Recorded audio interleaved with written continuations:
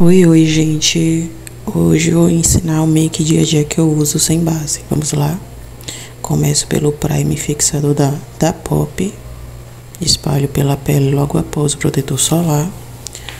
Venho com o corretivo do tom da minha pele, coloco nas olheiras e algumas imperfeições que me incomodam.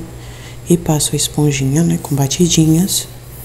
Em seguida eu venho com contorno colocando a sombra que foi retirada pelo corretivo, né, no rosto.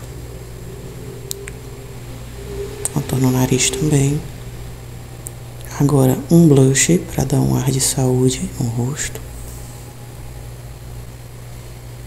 Agora o pó translúcido, selando todo o rosto, né?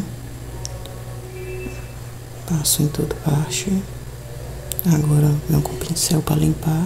Agora o balme ou esse batom 24 horas, ou um gloss da Ruby Rose de brilho, ou esse gloss da Louis Neve. Então, eu escolhi da Louis Neve mesmo. Achei lindo e deixou coradinho. Esse foi o resultado, mesmo assim eu ainda venho escovando as sobrancelhas com essa escovinha. E vou escolher ou a bruma da Shein ou da Max Love. Vou pegar o da Shein, que é fixadora. E é isso.